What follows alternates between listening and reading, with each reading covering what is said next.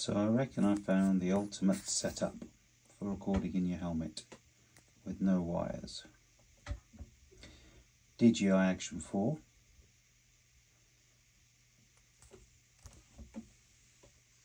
DJI Mic 2 Stick that up inside your helmet.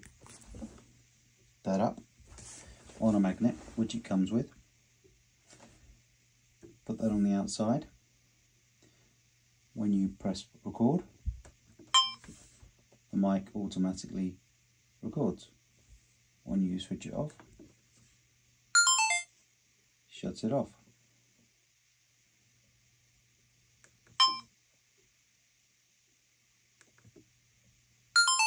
Fourteen hours record time. Not on the camera, on the sound. Stick a dead cat